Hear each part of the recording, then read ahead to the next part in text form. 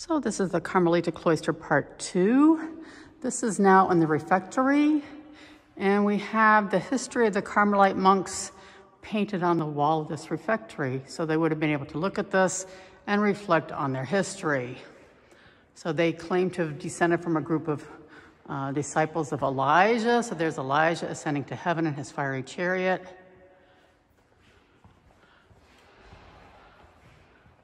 They become Christian and they start doing all kinds of good deeds, healing. You can read all about what they've done here in Kings. So if you want to, you can try and read this writing here. That actually says 4 Kings 7.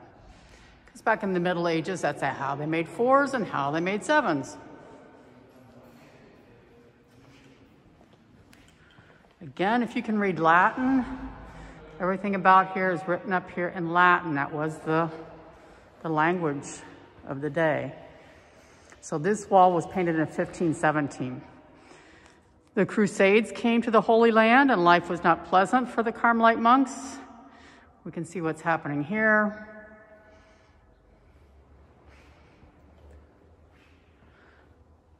So life is so unpleasant that they asked the King of France to come and get them. So King Ludwig of France comes down to the Holy Land, to Mount Carmel, picks them up and brings them up to Cologne, where he drops them off.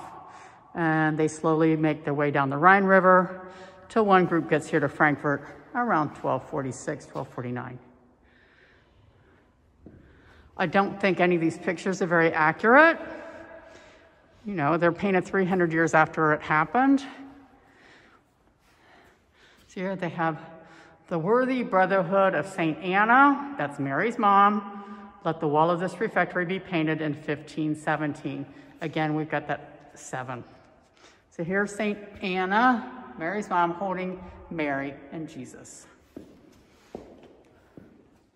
There's lots of animals in this painting, deers and pheasants and um, just beautiful horses.